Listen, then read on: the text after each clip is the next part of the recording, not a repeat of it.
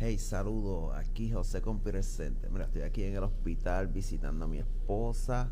Esta es la tablet de la esposa mía. Esta es la Samsung Galaxy Tab S6 Lite. Esta que está aquí es la Samsung Galaxy Tab S7 Plus. Esta es mi tablet. Y este es mi nuevo smartphone, el Samsung Fold 4.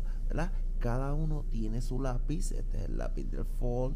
Aquí está el lápiz de la S7 Plus y aquí está el lápiz de la S6 Lite pero eh, tenemos que tener bien presente que estos Fold no utilizan estos lápices que son em, para, para estas otras tablets este que está aquí vas a ver que aquí te va a decir Fold Edition este que está aquí, pues, ¿verdad? Funciona muy bien en el Fold, ¿verdad? Porque es el que trae el cover. Pero si utilizas cualquiera de estos otros, ¿ves? Te va a salir esta advertencia que te dice que esto puede dañar la pantalla.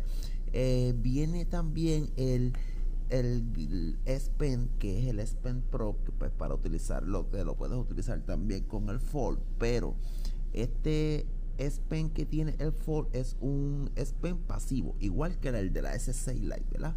Este que está aquí no utiliza Bluetooth, no tiene batería y por ende pues no puede hacer ciertas funciones que sí podemos hacer con este que está aquí que es el de la S7 Plus y también el de la S8.